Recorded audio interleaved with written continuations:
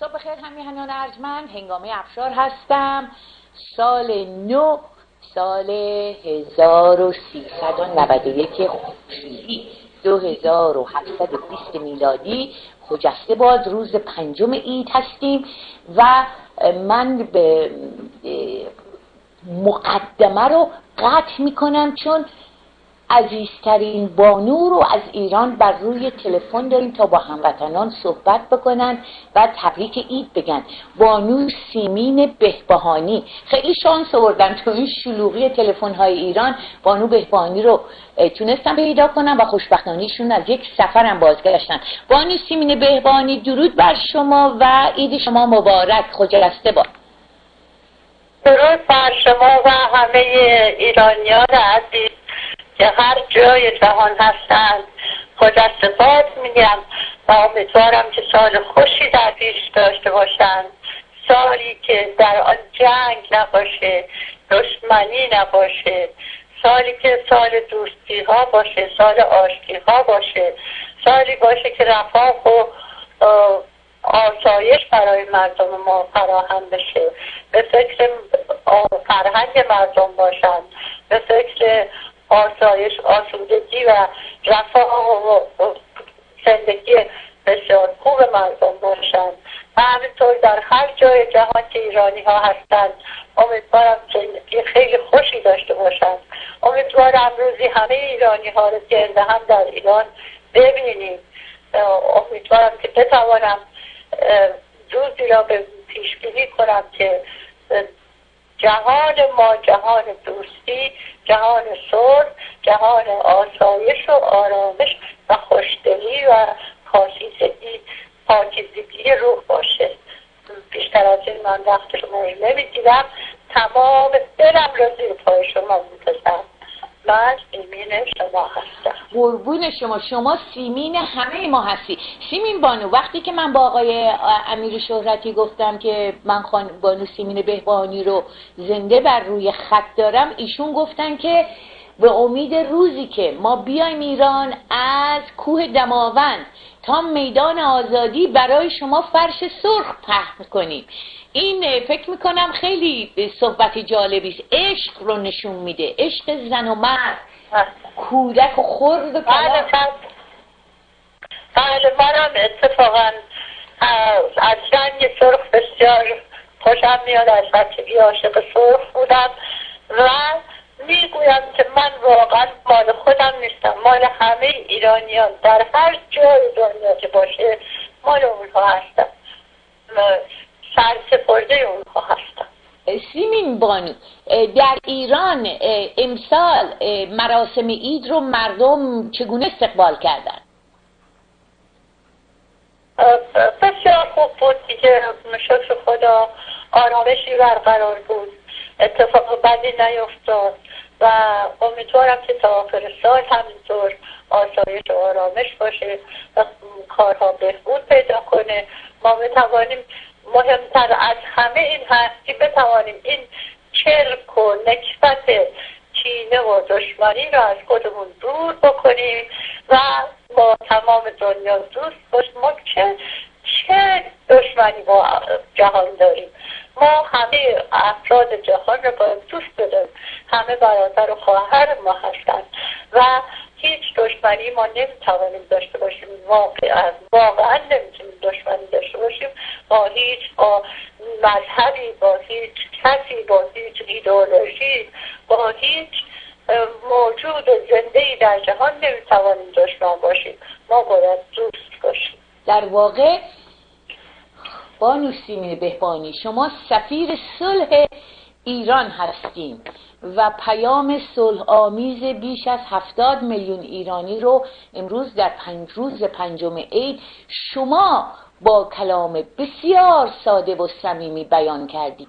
همون که گفتی ایرانی ها جنگ نمی‌خوان صلح می‌خوان با هیچ کس دشمنی ندارن کینه نمیورزن و چقدر زیبا گفتی شما.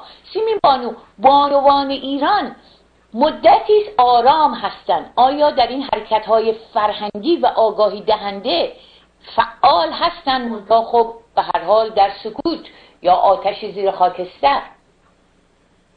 بله خانم ایرانی هیچ وقت باز نیستادند.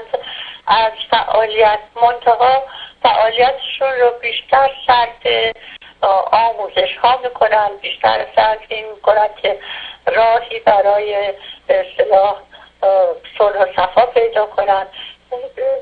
ما می‌دونیم ما زنهای ایرانی زنهایی هستیم که همیشه دوست داشتیم که در میان مردم به خوبی به خوش اخلاقی به مهربانی معرفی بشیم خب مثال از از خانم ها رو گرفتند و در زندان انداختند و من متاسفم که بعضی از اینها دو سه سال هست که در زندانند و بعد شاید بیشتر و شاید هم این حبسی که برای اونها معین شده شاید به ده سال و دوازده سال هم رسیده باشه. و این خیلی برای ما مایه دلتنگی مایه به دست دل به کار نرفتن باشه. بنابراین امیدوارم که هر چه زودتر اینها از زندان آزاد بشن زندانی های ما زنان زندانی آزاد بشن و هر یک زن چه کار کرده که به زندانی برای چی؟ با چه چه با چه اسلحه ای بیرون آمده با تو زندان باشه؟ به نظر من هر چه زودتر زنهای ما باید آزاد بشن اون وقت جشن می‌گیریم. باس می‌گوییم فعالیت می‌کنیم کوشش می‌کنیم برای بهبود اوضاع وطنمون. سیمین عزیزم. می‌دونم امروز صبح وقتی زنگ زدم گفتم واقعا شگفتانگیز بود که در این شلوغی خطها تونستم شما رو بگیرم و چقدر صدات رسا و خوب هست. یک سروده هم برای نسرین سدوده شما سرودین به مناسبت هشت مارچ چند بار پخش شده امروز هم پخش خواهم کرد و می‌دونم بیمار هستین مشکل پاداری چندین ناراحتی داری ولی هرگز در صدات نشون نمیدی عزیز دلم. سیمین جان مردم چه می‌تونن برای تو بکنن؟ که همه کار می‌تونن می‌خوان انجام بدن اما دستشون به تو نمی‌رسه. و در واقع تو یک زندان خانگی هستی در حصر خانگی هستی. نمی‌تونی بیای به خارج از کشور ما رو ببینی چون ممنوع الخروج هستی. می‌دونم آب از سرت گذشته و وحشت نداری می‌تونی با مردم صحبت کنی عزیز دل. نه من احساس دوری نمی کنم از مردم خودم. برای که دائما با تلفن با فکس با شعرم که روی اینترنت هست باشون تماس دارم. بنابراین من ازشون دوری رو حس نمی کنم اونها باید دوری من رو حس نکنن و بدانن که من هر جا باشم با اونها هستم در کنار اونها هستم و اونها در کنار من هستم. و در واقع من به پشتیبانی شما ها هستش که اگر زنده هستم اگر تکان می‌کنم اگر فعالیتی می‌کنم زندگی رو از شما دارم و هیچ احساس دوری هم نمی کنم و امیدوارم بتوانم سر پا بیستم و برای وطنم آرزوی خیر داشته باشم و تا جان دارم و تا می‌توانم و تا یک ذره انرژی در وجود من هست من بتوانم چه با قلم چه با ایستایی چه با نوشتن چه با هر چه که ممکن هست در قسمت اونها باشم.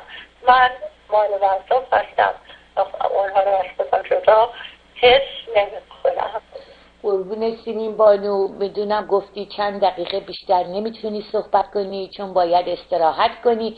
بیشتر از چند دقیقه به ما فرصت دادی. خیلی از شما سپاسگزارم. صحبت پایانی داری برای کسانی که دوستت دارن و الان صدات رو میشنون؟ بله من برای همشون یک بوسه هوایی میفرستم و شما هم تشکر می‌کنم که وسیله شدید که در این آغاز سال من با مردم صحبتی داشته باشم و خودم رو در کنار اونها باعث افتخار بود سیمین بانو. من امروز مصاحبه که با شما انجام دادم در مورد مادر فعالیتاشون و حتی سروده که برای خانم نسرین سروده. ستوده. ظرف چند ساعت نوشتید پخش خواهم کرد. بسیار از شما سپاسگزارم سیمین بانو و سال نو بر شما خجسته باد و امیدواریم سال آزادی و رهایی دلها ذهنها و آزادی بیان باشه. بله. سال آزادی نسلین ستوده نسلین ستوده ها و تمام مردان و زنانی که در زندان هستند در بند هستند آزادی باشه درود بر شما سیمین بانو. با شما شما رو میبوسم. من هم بوسه هوایی میدم و همه کسانی که الان صدات رو میشنون. عزیز دل. خیلی ممنون بدرود نازنینم. سال نو خجسته خب سعادتی بود که در آغاز برنامه صدای سیمین بانو رو زنده داشتیم برای شما. امروز هم من مصاحبهشون رو پخش خواهم کرد که دو هفته پیش بایشون انجام دادم. اما در ایران هر سال امسال بیش از هر سال بر سر مزار یا مقبره یا گلستان کوروش کبیر مردم جمع شدن جشن گرفتن. یادتون باشه که این مراکز قرار بود که همه تعطیل بشه مردم یادشون بره و برن بر سر قبوری که ما نمی‌دونیم این چند هزار قبور از کجا آمدن که هستن می‌دانیم که ایرانی نیستن. اما این جایی که امروز می‌بینید هزاران ایرانی در شب اید جمع شدن در اونجا یک ایرانی اصیل خوابیده. یک ایرانی اصیل که هنوز صداش رساست و هر روز صداش شنیدنی تر میشه نه تنها در ایران نه تنها نفس به نفس که در تمام جهان کورش کبیر. و این مرد که نخستین فردی بود که قانون حقوق بشر رو بر روی لوحهی نوشت امروز قوانین او در واقع روش و راه او جهانی شده هم او هم زرتشت. و چقدر ما خوشحال هستیم که به هر حال این گرد و قبار تاریخی با دست خود مردم با فریاد خود مردم کنار رفت و شفافیت اصالت ایرانی پررنگتر از همیشه به نمایش گذاشته شده. و چقدر باعث خوشحالی است که ببینید میترایی 3750 تاریخ ما چند سالشه؟ تاریخ ما 1391 سال نیست. این تاریخ اسلام البته ما هیچ توهینی هم نداریم. اما هر کشوری تاریخ خودش رو داره. ایران خودش زادگاه یکی از زادگاه و پرورش دهندگان اسلام بود. و 2720 وقتی بود که مادها در واقع میگن رو حالا روزی بوده که کوروش بابل با نه این تاریخ ماد هاست و بعد کوروش به هر حال کوروش کبیر بابل را فتح کرد تاج گذاری کرد. و قبل از اون قبل از اون هر روز مکاشفگران کشف می‌کنن که تاریخ ما فراتر و فراتر میره تاریخ ایران. و اگر ما امروز به ظاهر نسل ها مردم ایران رو خار و زلیل جلوه دادن بچه های ایران امروز به شفافیت می‌دونن که بیدار بشن از خواب و متصل بشن در آغوش بگیرن. اصالت های ملی خودشون چون تنها ناجی اونها تنها هادی اونها همین پایگاه های ملی که ما ایران در واقع جایگاه و خواستگاه این زیبایی ها و اکتشافات خلاقیت ها فلسفه هنر دانش و هر آنچه که امروز در جهان گسترده شده و همین روحیه میده به مردم ایران. به هر حال ببینید چه هست چه کردن ملت. بر سر مقبره کوروش کبیر که من مطمئنم خیلی راه ها بسته بودن و این هیچ تبلیغی هم نشده بود. گوش به گوش سینه به سینه خود مردم جمع شدن و این باعث افتخار هست. و می‌دونیم که الان بیش از 300 میلیون در جهان روز در واقع روز اول فرورد روز این لحظه است که اکواناکس میگن لحظه است که خورشید در خط استوا قرار می‌گیره روز و شب ساعت شکسان میشه دو قطب خط شمال و جنوب به یکسان خورشید بر اونها میتابه و این رو از هزاران سال پیش ایرانی ها می‌دانستند. و خب ما کاملش رو در روز سهشنبه از لغتنامه خدا براتون گفتیم. بسیار زیبا و دلبخش و آرامبخش و امیدبخش که ایران آینده زنده است. ما باید ایادین خودمون رو داشته باشیم شادی های خودمون رو داشته باشیم. جشن و سرور زیبایی ها و از گریه و زاری و نکبت و تو سر زدن و اینکه تبلیغ بشه برای اینکه بشر به صورت یک موجود تکیده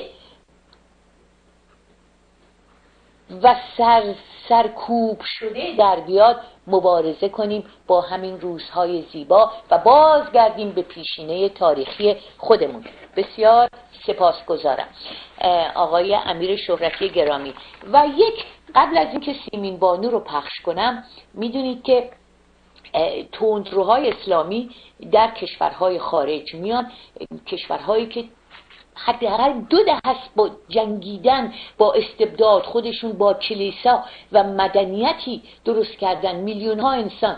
و بعد بعضی از این البته ایرانی ها مسلمانان زیادی هستن که ثروت آوردن افتخار آوردن حل شدن اضافه کردن بر فرهنگ غرب. اما بخشی دیگر به هوای این که بخوان اسلام رو جهان جهانگیر بکنن با شیبهای خشونت آمیز دست به کشتار می‌زنن دست به تبلیغ منفی می‌زنن دست به نق زدن در این سیستم ها می‌کنن و خانوم دو روز پیش رئیس نخست وزیر استرالیا بار دیگر ایشون خانوم جولیا گیلارد. بیانیه ای صادر کرد. خطاب به مسلمانان تندرو که مرتب می‌خوان سیستم استرالیا رو زیر سوال ببرن. خانم جولیا گیلارد لخوس وزیر استرالیا از رادیکال های اسلامی خواست که استرالیا رو ترک گویند. ایشون گفت اونها که می‌خوان قوانین شریعه رو در استرالیا پیاده کنن جایی در اینجا ندارن.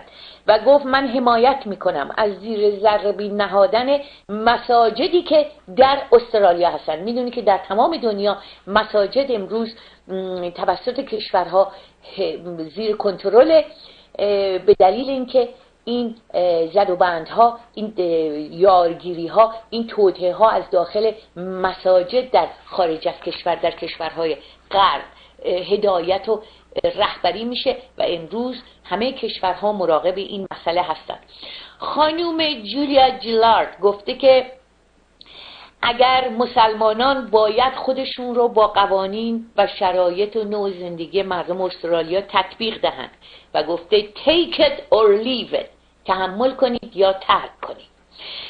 ایشون فرمودن فرهنگ استرالیا در دو قرن اخیر توسط میلیون ها زن و مرد کوشنده به وجود آمده. ما انگلیسی صحبت می‌کنیم. نه اسپانیایی نه لبنانی نه بحرین نه عربی نه چینی نه ژاپنی نه زبان روسی یا زبان دیگر. پس اگر هر کی می‌خواد بخشی از جامعه استرالیا باشه باید به زبان انگلیسی صحبت کنه. نگفته البته زبان خودشون رو ولی به عنوان زبان رسمی. اینه که در همه جا باید این زبان زبان اوله. و ایشون فرمودن که مذهب ما آین ما مسیحیت و بر دیوار مزارس می نویسیم و ایمان داریم به مسیحیت و اونها به ایمان شما مسلمان ها هم کاری نداریم. شما رو سوال جواب نمی کنیم شما هم ما رو سوال جواب کنید. نکنید. Take it or leave. Take it or leave it. خانوم نخست وزیر استرالیا فرمودن اینجا کشور ما خاک ما و نحوه زندگی ماست و اجازه نمی دهیم که شما بیش از این نق بزنید شکایت کنید. از پرچم ما از روش زندگی ما از اعتقادات مذهبی ما انتقاد کنید و بخواهید ما رو شبیه به خود کنید. و دوباره فرمودن take it or leave it. اگر در اینجا خوشحال نیستید لطفا خاک ما را ترک کنید. و به گفتن ما شما را مجبور نکردیم که به کشور ما بیایید. شما به درخواست خودتان به خاک استرالیا آمدید. ما هم به شما این امکان را دادیم. اما اگر خیلی ناراحت هستید امکان آزادی دیگری هم در اینجا داریم. و آن این هست که take it or leave it. سخنان جانانه سرکار خانوم جولیا جیلار تمام کشورها رؤساشون این گونه باید برخورد کنن. چون همه ماها میهمان هستیم. همون گونه که یک خارجی اگر بیاد در ایران خب باید قوانین ایران رو به هر حال اطاعت کنه. ضمن اینکه قوانین خودش هم هست گرچه در ایران قوانینی وجود نداره و تمام این قوانین قوانین ضد انسانی هست در ایران. آنچه که امروز می‌رود. و می‌دونیم که این قانون زورگویی جایی در دنیا نداره. این کشورهای غربی هم به حال یه مدت صبر کردن تحمل کردن امکانات دادن ولی دیدن که مثل که اگر یه خورده شل بیان وضعشون به بحران عجیبی منتهی میشه. به همین دلیل محکم ایستادن این جمله سرکار خانم نخست وزیر استرالیا. اجازه بدید سیمین بانو رو که ضبط کرده ایم برای شما پخش کنیم. لطف بفرمایید. ایشون یک بار من البته اون بخش سرودش رو پخش کردم اما یک گفتگوی نه در مورد ادبیات چون سیمین بانو در زمینه ادبیات به هر حال خودشون رو در قالب شعر تعریف می‌کنن. اما موضوعاتی که تالا راجع بهش صحبت نکردن من جمله مادر گرامیشون که یکی از پیشروان دوران مشروطه بودن و برای کشف اجاب و برای آگاهی زنان حقوق زنان می جنگیدن همراه با بانوان دیگر. لطف بفرمایید.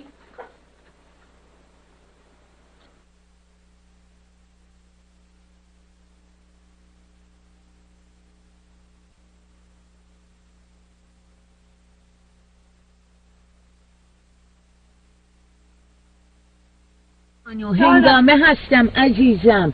ما آماده ایم که والا من شعرم آماده است اما خوندنم آماده نیستم. برای اینکه ببینید من این شعر تموم کردم. خودتون با صدای خودتون فقط واضح و آره. بلند بخونین نگران نباشین. عزیز جان من چشمم نمی‌بینه دارم. چیزی که نوشتم با قلم بسیار درشت نوشتم. اینو من بایستی بیست دفعه اقلا بخونم تا از روش بتونم بخونم. که از ذهن آدم بیرون میاد که حفظ آدم نیست که. اینو من بشینم ده دفعه بیست دفعه بخونم تا حفظ بشم. و اینجوری از رو البته می‌تونستم بخونم برای شما به شرطی که تشت داشته باشم. ندارم بله من این دو ساعت این دو ساعت فقط می‌تونم به خوندن این شعر کمی آماده باشم. بتونم از بتونم بخونم از روش. الان از رو نمی‌تونم بخونم چون نوشتم چشم من که اون قدرت نداره. من با ذهنم نویسم یعنی وقتی قلم می‌ذارم رو کاغذ یادمه که جمله ها رو چجوری دستم میگردوندم. اونجوری. من هیچ چشم نده الان با دربین و با هزار بدبختی اینو می‌کنم حفظ می‌کنم براتون. حفظ یعنی تقریبا آماده می‌کنم. بعد اگه جای توفق زدم خودتون نوار داریم می‌تونیم درستش کنیم. سیمین جان سیمین جان چگونه شعر رو میشه یه بار دیگه نحوه شعر سرودن تو بگو عزیزم. این شعر تو ذهن من میاد عزیزم درسته؟ ذهنم میاد. من اینو با قلم می نویسم بدون اینکه درست ببینمش. یعنی من شکل شکل مثلا کلمه رو تو ذهنم هست. با قلم اونو می‌کشم رو کاغذ. بعد که تموم شد بعدش باید با ذره بین و اینا بخونم تا اینکه این یادم بمونه. ذره های مختلف روز روشن باشه آفتاب باشه چندین بار بخونم تا باید بتونم رو از زبون خودم بخونم. از این جهتی که به شما میگم دو ساعت به ما فرصت بدید من در بیست دفعه بیست دفعه سی دفعه بخونم که تو نزنم مثلا خب اونجا نوشتم بیش مثلا پیش می‌خونم. که چشم درست نمی‌بینه دیگه؟ نوشتم مثلا کبوتر یه چیز دیگه می‌خونم. خانم افشار من این شعر رو برای همین روز زن ساختم نوشتم و امیدوارم مورد قبول باشه می‌دونید شعر یه حرفی. اون که گفته میشه گفته باید بشه توش هست. بفرمایید عزیزم. اسمش اسمش رو هم گذاشتم تا زنی به زندان است.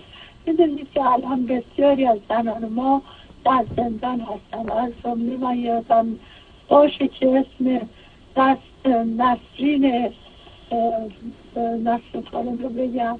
و بگم که الان بیست دو سالی در زندان.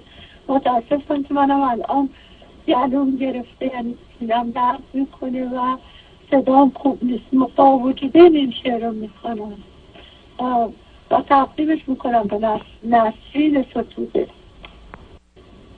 تا زنی به زندان است روز زن شب تار دم مزند آزادی تا زنی گرفتار است. گفت جفت و پوشش را جنب و جوش و پوشش را وانچه از وانچه آرزو دارم زیر دست و دستار است این زنان که می‌دیدی یار بخت یار بخت بیدارند. نیمه دگر زینان جمله کارشان سار است. با حضور سنت ها با حضور سنت ها در به روی زن بسته است. گر هریچه بکشاید جاش پشت دیوار است. زن که حق خود خواهد فتن جوف شمارندش.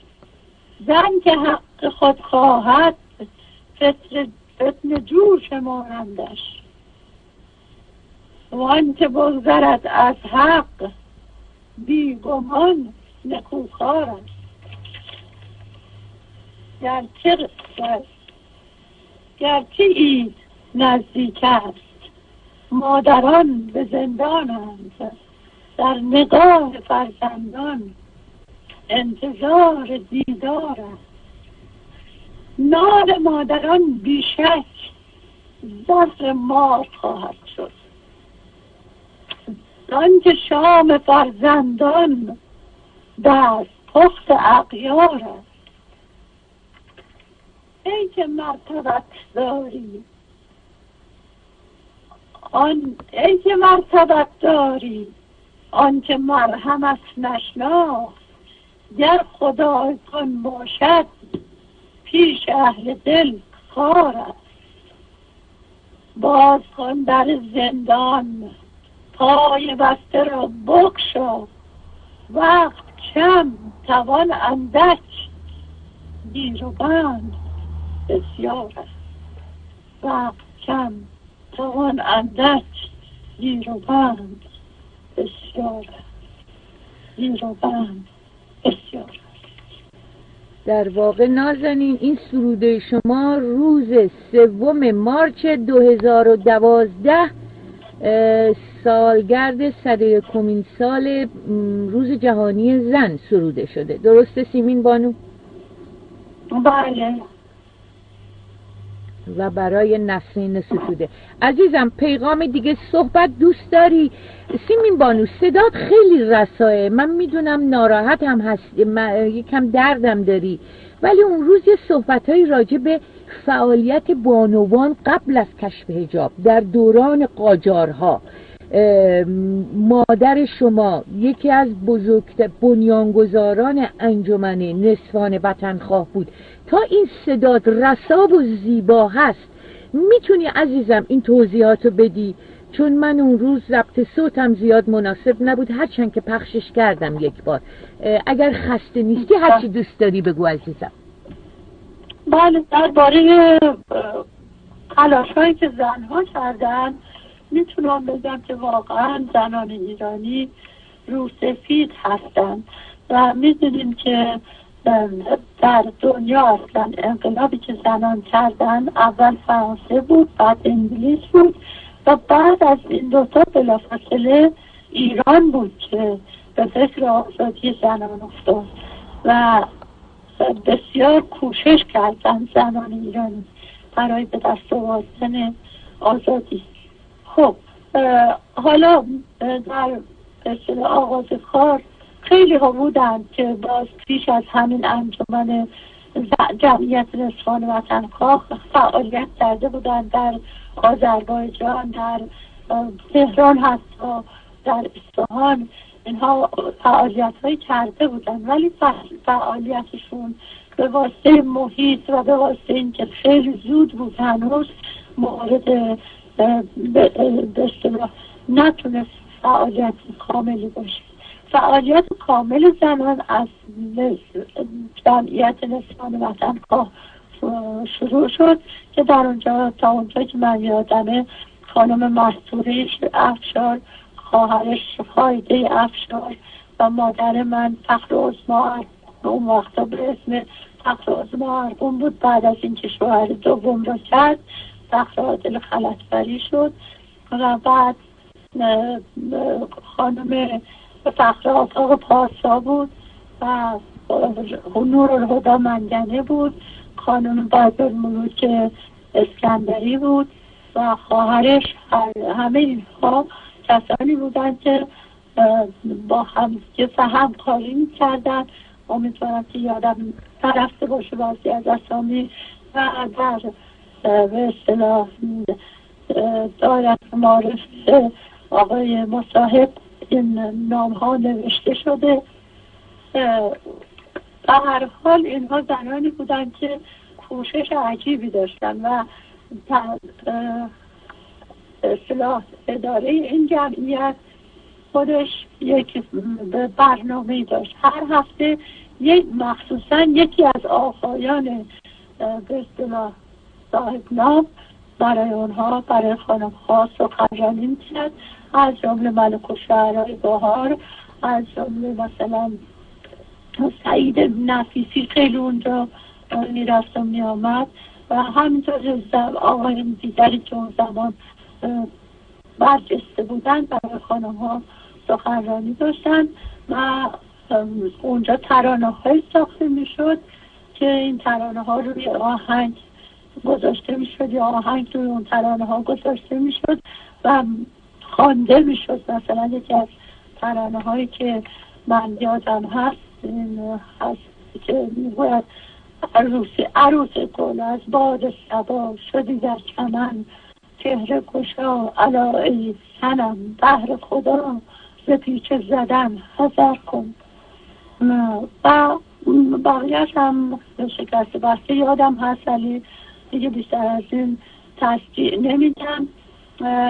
و این زنها مدرسه داشتن. مدرسه برای زنان بی سواد و بزرگ سالان که در اونجا زنها می آمدن تحصیل می‌کردن گواهی نامه می گرفتن و باز هم در اونجا همه جور آموزش پایا پای بود. یک کسی که خیاطی غلط بود معلم خیاطی می‌شد و خیاطی یاد می‌داد. در ازای او یک کسی که آشپزی بلد بود شیرینی پزی بلد بود او هم این هنر خودش رو در میان میگذاشت و همینطور هنرهای دیگر بافندگی قالی بافی حتی اینها رو در اونجا می‌کرد. من خیلی کوچک بودم البته. بیشتر اینها رو که میگم از مادر شنیدم ولی گاهی از اوقات مادر دست منو می‌گرفت می‌برد اونجا و من می‌دیدم این خانم ها رو. خیلی خوشم میامد که برم اونجا.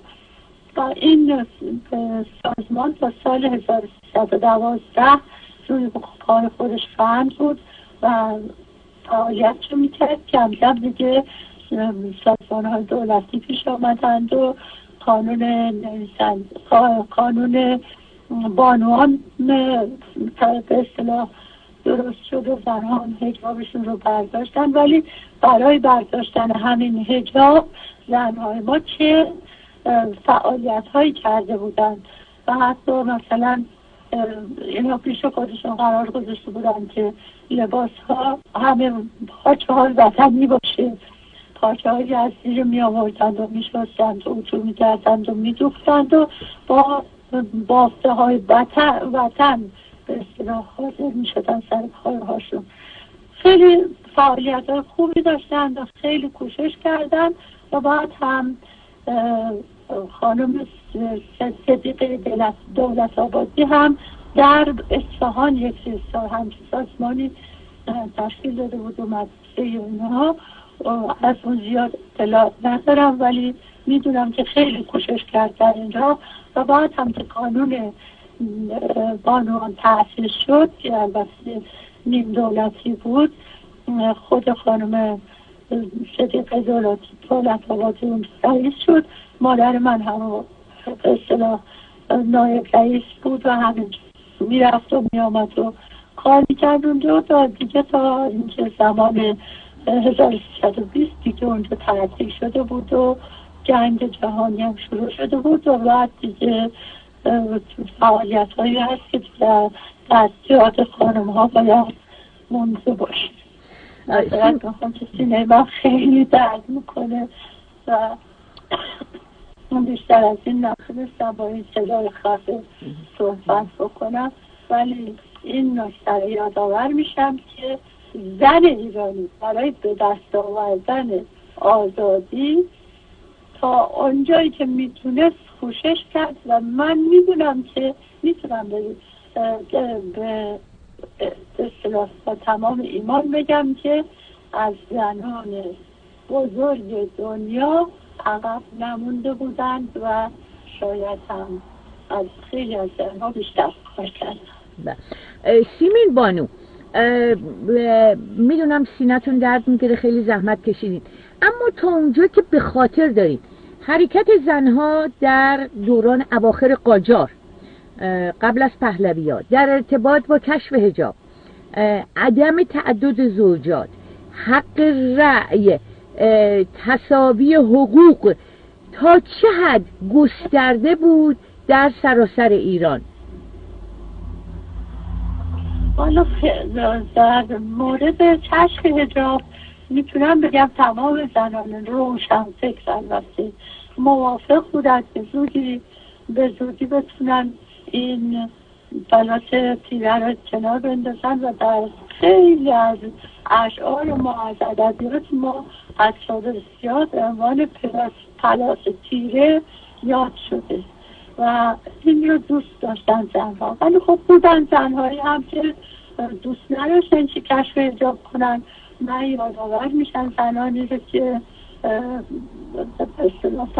تا به مرگشون اجاب خودشون رو بر نداشتن. با همه سختگیری ها که شد و بسیارشون از خونه بیرون نمی آمدن من یکی از خیشاوندان خودمون رو می‌شناسم که خب شجاعتر بود ولی یک لباسی دوخته بود که مثل گردن سپاهیان اصطلاح گردن داشت و بلند تا که پاش بود و روی اون هم روسری سر می‌کرد و روسری رو تا روی پیشانی می آورد و روی اون روسری اون موقع چون روسری هم به اصطلاح تحریم شده بود روی اون روسری کلاه هم میذاشت و با همین هیئت خندهدار به خیابان می آمد یعنی درست مثل یه لاشپشت می شد یه چیزی که اصلا چیز. اونم اینجور بود معتقد بود که زن باید حجاب داشته باشه. البته در مورد حجاب من فکر می‌کنم که خب یک پوششی است که زن خودش باید انتخاب بشه و اگر انتخاب بکنه. اگر که بخوان که حتما اصطلاح تجریب کنن این رو به زنان نتیجه خوبی نخواهد داشت. اما کوششی در راه فهماندن و در راه اینکه حتی در قرآن همین هجاب به اصطلاح اگر آمده با بسیار باعثیات آمده و باز هم بعضی هم میگن که نه فقط برای زنهای پیغمبر آمده اینها با وجود این من معتقدم که اگر کسانی هستن که می‌خوان هجاب سر کنن خب چه کار بذاریم با هجاب خودشون باشن. ولی الان اکثر مردم ایران زنهای ایران مخالف هجاب هستن. سیمین بانو متذکر شدیم که اول زنهای فرانسه خب انقلاب کبیر فرانسه بود. بعد زنهای انگلیس که این هم متعاقب انقلاب صنعتی اروپا بود و بعد زنهای ایران. چه عواملی باعث شد که زن ایرانی که در واقع در اواخر قرن 19 و اواخر قرن 20 همپای اروپا می‌رفت این گونه عقب بمونه. این عوامل اجتماعی و سیاسی شو لطف بفرمایید قید بفرمایید. بیشتر از همه من فکر می‌کنم که معاشرت و روشن شدن زنها بود. چون اول زنهایی که هجاب رو برداشتند اونهایی بودن که درس خونده بودن تحصیل کرده بودن و تحصیل کردن هم در اون زمان به خیلی آسانی نبود. کسانی بودن که مدارسی در خانه ها داشتن به اسم یا مدرسه در خانه کسانی که دستی به دهن داشتند و می توانستند معلمین رو از اطراف می آوردن در خانه ها پسرهاشون و دخترهاشون با هم دیگه درس می این مدرسه به طوری که مادر من نقل می‌کرد در خانه مادر من یک خانمی به اسم مادام مارون که شوهر با شوهرش به ایران آمده بودن و سویسی بود و معلوم نیست که نمی‌دونم که چرا آمده بودن به ایران و چرا از ایران نرفته بودن. اینها در بیرونی خانه پدر بزرگ من مسکن داشتن مسکن کرده بودن و به خصوص پدر بزرگ اینها رو سالهای سال نگه داشت. برای اینکه بچه ها سه بچه بودن یکی مادر من دو تا هم برادر که اینها بتوانند با زبان از بچگی با زبان فرانسه آشنا بشن. و همینطور بود این مکتب تا اینکه اینو بچه ها بزرگ شدن. و همینطور توی این مکتب فقه و اصول و حتی نجوم و نمی‌دونم هیئت و این چیزها هم بچه ها یاد می‌گرفتن. علاوه بر ادبیات و که معلمین زیادی بودن اونجا و تمام بچه های شهر یا بچه های دوستان آشنایان می آمدن اونجا استفاده می کردن اینطور که مادر من می گفت. و مادر من انگلیسی رو می‌دونست ولی فرانسه مثل زبان مادری یاد گرفته بود. و به همین دلیل سالها معلم فرانسه دبیرستان ها بود. تا هنگامی هم که از ایران کوچ کرده به امریکا رفت برای اینکه پیش بچه هاش باشه تا اون هنگام هم همینطور از زبان یادش بود و سعی کرد که مبادا فراموش فراموش کنه فرانسه خوب می‌دونست. انگلیسی را در مدرسه امریکایی اون موقع اون زمان که خود منم به کودکستانش می‌رفتم و هم به مدرسه امریکایی می‌رفت او یاد گرفته بود. تو زبان می‌دونستم زن بسیار سرگیستی بود و زنایی که خیلی چیز می‌تونن زیاد زیر بارش راحت نمیرن یعنی هیچ وقت در زندگی زناشون هیچ خوشبخت سیمین بانو دهه ها قبل از اینکه دانشگاه تهران افتتاح بشه و دانشسرای عالی دختران و کالج ها و مدارس در واقع دانشکده های دیگر زنهای ایران از یک سواد نسبی و مکتبی برخوردار بودند این که شایع شده در. جامعه این رو توضیح بفرمایید که می‌دونم مکتب های خانگی بود مدارسی بود که توسط خود زنها ولی سطح سواد زنهای ایران در کل سطح ایران در واقع. در قبل از اینکه دانشگاه باشه و در دوران تحجر قاجارها این رو چگونه شما تخمین می‌زنین و بررسی می‌کنید یعنی از چه لحاظ؟ از چه چه درصدی با سواد بودند؟ حالا اکادمیک نبود این سوادها. به هر حال خب. مکتبی بود. خب این رو چون میگن زن ایرانی همشون در پستو بودند بی سواد بودند در سیاهی مطلق. نه اینطور نبود. به اصطلاح زنهای ایرانی از خیلی پیش از 1300 که مثلا فرض کنید که قانون های زنها اداره می شد و بود از پیش از اون زنها همه خب یکیش مادر پژمان بختیاری که یه دیوان شعر داشت. از کجا یاد گرفته بود خب توی خانواده هاشون آدم هایی بودن که چه زن چه مرد فرهسته بودن سواد داشتن و یاد می داشتن این که بگیم که پیش سواد فقط از سال 1300 300 بعد برای زنها آمد اینطور نبود. ما قبل از اون هم زنهای فرهسته حتی زنهای شاعر داشتیم که شعر می‌گفتن. حالا من خصوص ذهن ندارم که نامشون همه یادم بیاد ولی مادر من پژمان بختیاری رو که دیوانش هم هست یاد دارم و بسیار زنهای دیگه بودن که سواددار بودند و درس خوانده بودند و اطلاعاتی داشتند و حتی زبان می‌دانستند. اینا بوده ولی خب خیلی کم بوده بله. سیمین بانو خیلی ازت ممنون عزیزم. پیامی داری؟ صحبتی جا مونده که دوست داری صحبت کنی. من که خسته نمیشم ولی شما رو خسته کردم.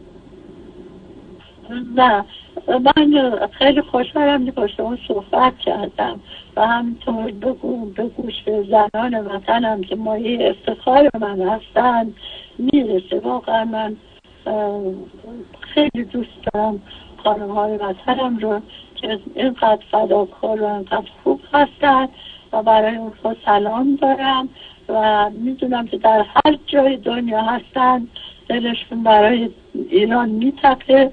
و اونهایی که در ایران هستن با نهایت صبوری همه چیز رو تحمل می‌کنن و سعی می‌کنن که فرزندانشون در آینده از قافله تمدن عقب نمانده باشید.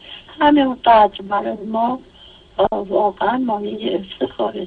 من به زنهای کشور خودم مفتخر هستم من کوچک اونها هستم و امیدوارم که هر جای دنیا در ایران یا هر جای دنیا هستن موفق باشن و نور ایران رو بلند آوازه کنن سیمین بانو نقش زن رو در آینده ایران تا چه حد پیشرفته می‌دونی؟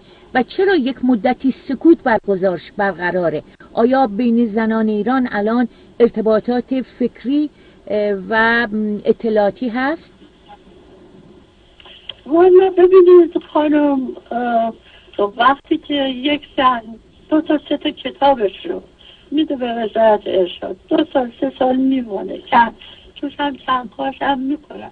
به اصطلاح دردش هم می‌کنن توش. و مقدارش هم بیرون میارن میدن دست معلف باز هم که دوباره میره برای تایید تایید نمیشه. دیگه زن چه ذوقی براش میمونه. غالبا کتاب های حالا نه, نه کتاب های زن ها کتاب های مرد ها هم همینطور که به وزارت اشوت میگه جلوش گرفته میشه به آسانی منتشر نمیشه. در حالی که اگر منتشر باشه هیچ اشکالی هم پیش نخواهد آمد. یکی موضوع این هست البته این سالهای اخیر این سانسور خیلی سختتر گرفته شده. یکی مسئله این هست یکی اینکه خانم ها انقدر گرفتاری پا در زندگیشون هست انقدر مملکت زندگیتون اینجا کمی سخته. خرید رو باید بکنن ما اصطلاح خدمتکار ندارن. مثل سابق سابق. من یادم میاد تا چندین سال که از ازدواجم گذشته بود همیشه یه خدمتکار داشتیم. حالا اگر بخوایم یه خدمتکار داشته باشیم با اینکه من مریضم و نمی‌تونم دیگه قدرت کار کردن ندارم بایستی ماهی مثلا 500 تومن از 500 هزار تومن از بودجه که داریم بدم برای مستخدم. و این برای من توانایی ندارم. برای دیگران هم همینطور.